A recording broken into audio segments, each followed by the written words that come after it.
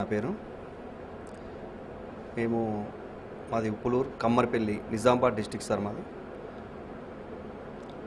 CD ఈక్విసెట్స్ branch office ఉంది ఆర్మూర్లో. ట్రేడింగ్ నడుస్తుంది దాన్ని. మళ్ళీ కాంట్రాక్ట్ పని కూడా చేస్తుంటాను. రియల్ ఎస్టేట్ కాంట్రాక్ట్ పని చేస్తుంటాను సార్. పబ్లిక్తో ఎలా మాట్లాడాలి ఎలా నేర్చుకోవాలి ఎలా చేయాలని చెప్పి తెలియక ఇక్కడ వచ్చి నేర్చుకోవడం నేర్చుకోవాలని వచ్చాము సార్. నేను పది సంవత్సరాలు దుబాయ్లో ఉండి వచ్చాను సార్. నేను చాలా కష్టపడ్డాను.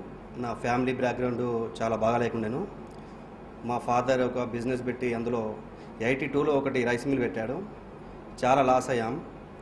తర్వాత అలాగే నెట్టుకుంటూ నెట్టుకుంటూ నైంటీ ఫోర్ దాకా దాన్ని రన్ చేశాం. ఫైనాన్షియల్ ప్రాబ్లమ్స్ వల్ల అది టెండర్ చేసి అమ్మేశారు. ఆ తర్వాత నేను దుబాయ్ వెళ్ళడం జరిగింది.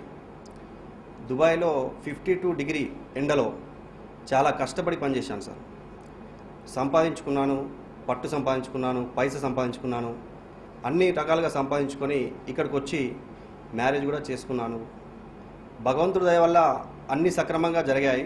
కానీ ఇద్దరు మందిలో మాట్లాడాలంటే భయం వేసేస్తారు అప్పుడు మా సుధీర్ నా వెన్నెంట ఉండి ఇలా ఇలా ఉంది ప్రోగ్రాం మీరు వెళ్ళి అక్కడ వచ్చి ఒకసారి అటెండ్గా అని చెప్పాడు సార్. నా ఆదర్శ వ్యక్తి సుధీరే ఇప్పుడు నాకు. ఎందుకంటే అందరికీ ఫ్రెండ్స్ కూడా హెల్ప్ చేస్తాను హెల్ప్ చేశాను కూడా. అంటే చెప్పుకోవద్దు చేసింది చెప్పుకోవద్దు అయినా కానీ చెప్పుకుంటున్నాను. అన్ని రకాలుగా అందరికీ హెల్ప్ చేశాను. డబ్బు విషయంలో కానీ సహాయం కానీ అన్ని రకాలుగా చేశాను. కానీ ఎదుటి వ్యక్తితో ఎలా మాట్లాడాలి అని తెలియదు సార్ ఇప్పటివరకు కూడా. ఇక్కడికి వచ్చిన తర్వాత నేర్చుకున్నాను సార్ ఎదుటి వ్యక్తితో ఎలా మాట్లాడాలి ఎలా ఉండాలి ఎలా మెదులుకోవాలి అని చెప్పి నేర్చుకున్నాను. ఖచ్చితంగా నా ఆదర్శ వ్యక్తి సుధీరే అవుతాడు. ఇప్పటి కాదు లైఫ్లో నేను అతన్ని మర్చిపోలేను మిమ్మల్ని కూడా మర్చిపోలేను మిమ్మల్ని కూడా మర్చిపోలేను మేడం. అందరికీ ధన్యవాదాలు తెలుపుతూ అందరూ ముందుకు వెళ్ళాలి. ఇలాగే సార్ గారు కూడా ఇప్పుడు పదవిలో ఉన్నాడు. అతను కూడా చాలా నేర్చుకోవాలి అందరితో మాట్లాడాలి. అతనికి కూడా విషెస్ తెలుపుతున్నాను.